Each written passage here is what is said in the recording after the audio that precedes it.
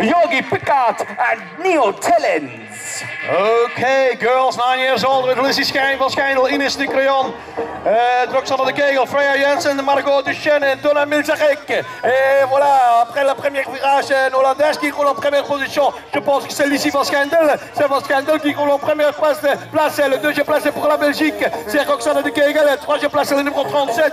Euh, le numéro 37, c'est Margot Duchesne. Duchesne pour la France en troisième position. Et le quatrième place pour le numéro 27, Inès de Creon.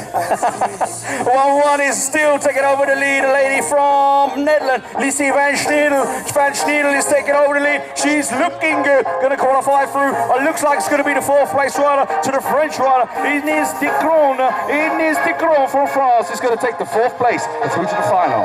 Les filles, euh, 9 ans sur la piste. Et voilà, c'est le numéro 5 qui prend euh, le shot. C'est pour Slovaquie, Dominika Malikova.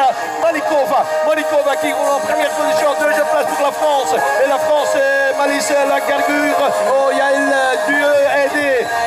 c'est le numéro 49, c'est Malice Lagargure pour la France en deuxième position. Yeah, Slovakia, France, 1 and 2. The 17 coming on through the 15. That's Tatum Gers from Holland. And the 15 place rider, he's from Belgium. At the moment, that's Meryl Van Gastel. Van Gastel from Belgium. She's in the fourth place. Here comes Puck Van Os. Has Puck Van Os got enough to make up the four? I don't think she has. And it's going to be the 015 of Van Gestel going through to the main event.